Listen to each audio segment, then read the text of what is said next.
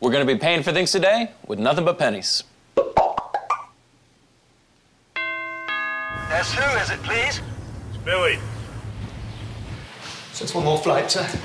Wonderful. Thank you for coming. Yeah. So, uh, so this is the piece. Yeah. He's enticing.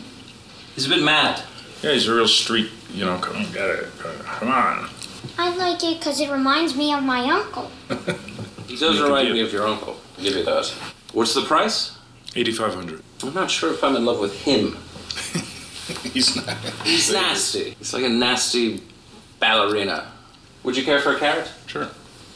Thank you. Nothing. I can't figure this thing out. Don't you tell me. Clearly up to you, Prince, but it's, uh, it's your Uncle Argyle completely. The likeness is frighteningly uncanny. Well, what do you think, Prince?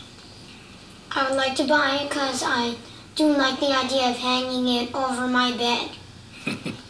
Splendid. Yeah. Well, let's go down to the vault.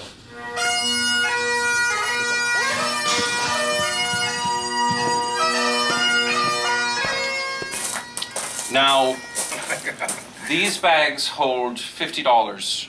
So just hold one open. Now it gets you paid. And what are these?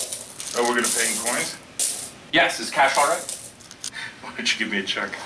You can understand he's a bit eccentric. That's Uh, awesome. He likes to, uh, to pay for things in cash and with his pennies. All right, so let's get cranking.